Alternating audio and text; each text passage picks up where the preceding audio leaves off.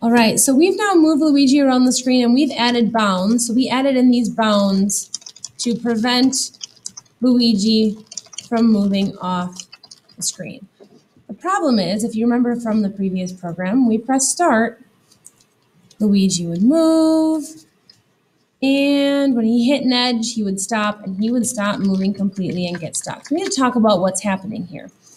And what's really happening here, and I'm going to use this Y portion right here to help me out, is when the up key is pressed, Y is subtracting, subtracting, subtracting, and it will go in here every time Y is greater than or equal to zero, which means when it gets all the way up here to zero, it will still enter in here, it will subtract 1 and go to negative 1. And when it recycles and comes back, this condition is no longer met because y is negative 1, which is not greater than or equal to 0.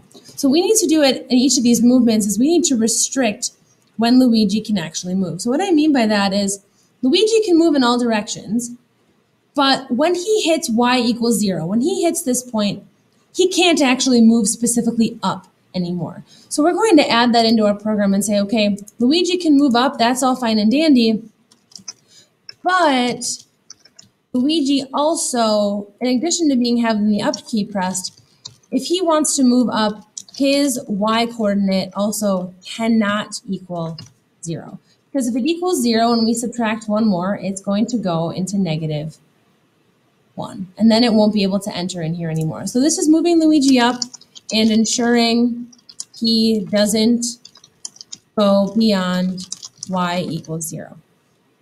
And here we're going to do the same thing. The largest that y can be is 386. So what we need to make sure is that Luigi, his rectangle dot y coordinate does not equal 386. So this is saying this is moving Luigi down on the screen, but when he hits 386, he won't be able to move down anymore. So here we're saying it's and ensuring he doesn't go beyond y equals 386. And we'll do the same thing here. This is x moving to the left. Well, we don't, the smallest that x will be is 0. So here we want to make sure and Luigi rect dot x does not equal 0. Because we don't want him moving any more to the left and subtracting one more if he specifically equals 0. And the last part here, this would be Luigi rect dot x does not equal 720. So basically what this is saying is he has to be in this region to enter and move anywhere on the screen. And then these complex conditionals here are actually stating, okay, he can only move up when y does not equal zero specifically. He can't go any more negative than zero. So if he's at zero, he won't be able to subtract one more.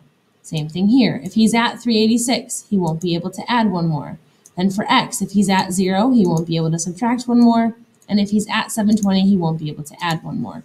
So now if we play this again, you'll notice that he stops. And we'll see if he stops here. Oh, look, he stops there, but we can still keep moving to the right. Now, if we angle ourselves up a little bit more, if he hits here, he can still move up. Here he can still move up as well. So you see that when he hits the edges, he keeps going. He just kind of only runs along the edges and won't go beyond them. So that gives you a little bit of insight about the planning that goes into that detection of the edges on your screen. And hopefully you can add that into a future program.